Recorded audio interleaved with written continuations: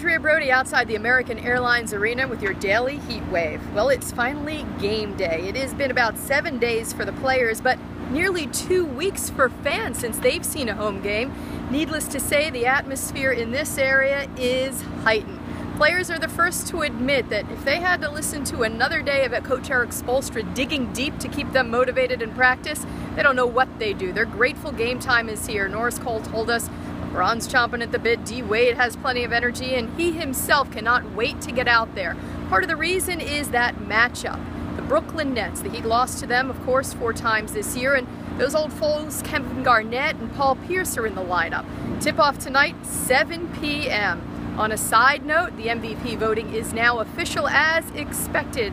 Kevin Durant was named the MVP with LeBron James coming in second.